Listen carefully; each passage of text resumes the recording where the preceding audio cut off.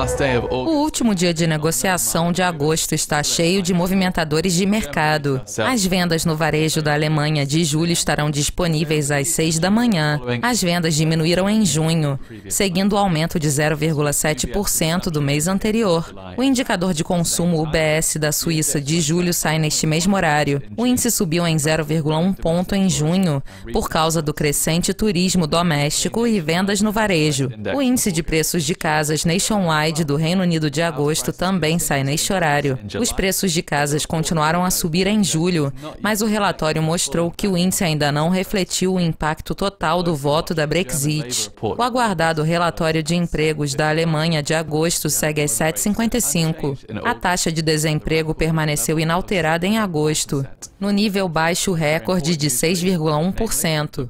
Um anúncio importante: o IPC da zona euro de agosto sai às 9. Houve uma leve melhora nos dados de julho, mas a taxa de inflação anêmica continua sendo uma grande preocupação para o Banco Central Europeu. A taxa de desemprego da zona euro de julho sai neste mesmo horário. A taxa de desemprego tem caído pouco e constantemente pela maior parte do ano, e agora está apenas uma fração na casa de dois dígitos. Ao meio-dia e 15 horas de Greenwich, teremos a variação de empregos ADP dos Estados Unidos de agosto. O relatório de julho surpreendeu positivamente, e os dados positivos foram apoiados posteriormente pelo relatório oficial do Bureau de Estatísticas de Trabalho. O PIB do Canadá de junho segue ao meio-dia e 30 e é um anúncio importante para traders de dólar canadense. Houve uma queda de 0,6% em maio por causa de um grande incêndio selvagem. As vendas pendentes de casas dos Estados Unidos de julho saem às duas. As vendas melhoraram um pouco em junho, mas não o suficiente para reverter a queda decepcionante de 3,7% do mês anterior.